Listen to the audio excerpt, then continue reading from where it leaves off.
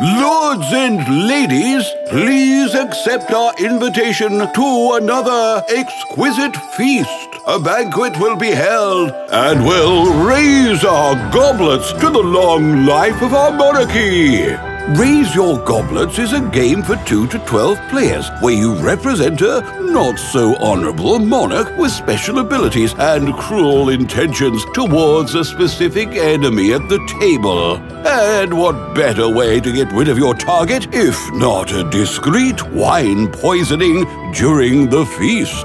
You start the banquet with a goblet in front of you, and according to royal etiquette, you can't see the contents of any cup.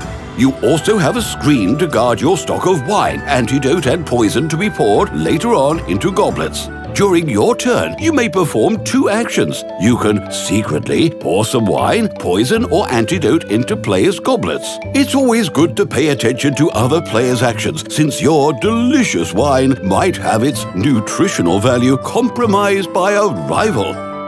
You can take a closer look at your goblet's contents. Other possible actions include switching the positions of two goblets or even rotating all of the goblets on the table. Trying to keep track of the goblets is key to your survival. Once a player has poured all their wine tokens, it's time to call a toast. Once called, all players will have a final chance to perform a last action before fates are revealed. Each antidote token in a goblet is capable of nullifying a deadly poison token. After that, any poison token left kills the drinker. You score points when you manage to kill your target, succeed in staying alive, manage to do both, and if your goblet is the one with the most wine at the table.